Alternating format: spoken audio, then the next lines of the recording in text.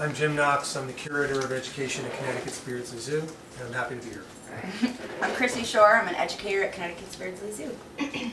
I'm Judy First. I'm curator of the Barker Character Comic and Cartoon Museum. Great. And I'm Becky Fusco, and this is my collection. Now we're going up this level. Oh, Okay. So, I'm sorry, here, Yeah. This row. Yeah.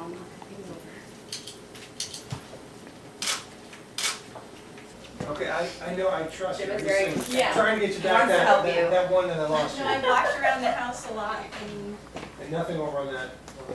no, taken. Jim is just gonna take a tour of the house. Yeah. The little hanging book. So. Oh, this now and that one on there. Nothing over there. I'm determined to find this.